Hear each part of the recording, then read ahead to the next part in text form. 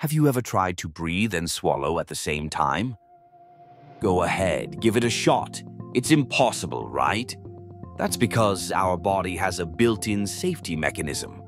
When you swallow, a small flap called the epiglottis closes off your windpipe to prevent food from entering your lungs. This is crucial because if food or liquid gets into your airway, it can lead to choking or aspiration pneumonia. Now, think about it. Every time you eat or drink, your body is prioritizing safety. It's like a well-rehearsed dance between your respiratory and digestive systems. When you swallow, your brain sends signals to temporarily pause your breathing. This is why you can't do both at once. It's fascinating how our bodies work, isn't it?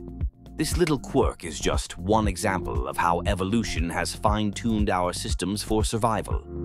Next time you're enjoying a meal, take a moment to appreciate this incredible coordination happening behind the scenes. And remember, if you ever find yourself in a situation where you need to swallow, just breathe easy and let your body do its thing.